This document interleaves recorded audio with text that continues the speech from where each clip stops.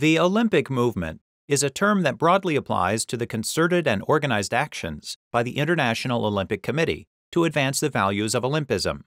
The Olympic Games have come a long way from the original games held in ancient Greece, and today, the Olympic movement is comprised of numerous international and domestic organizations. Olympic associations can either be structured horizontally or vertically. As its name suggests, horizontally structured associations span across recognized sports at the international level.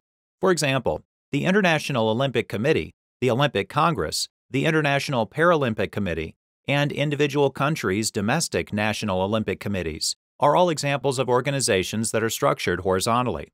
In contrast, vertically structured associations run upward within each specific sport. International federations, such as the International Table Tennis Federation, and national governing bodies, such as USA Triathlon, are vertically structured associations. Let's look at each type of association and the specific roles the associations play in the Olympic movement. The International Olympic Committee, or IOC, was founded in 1894.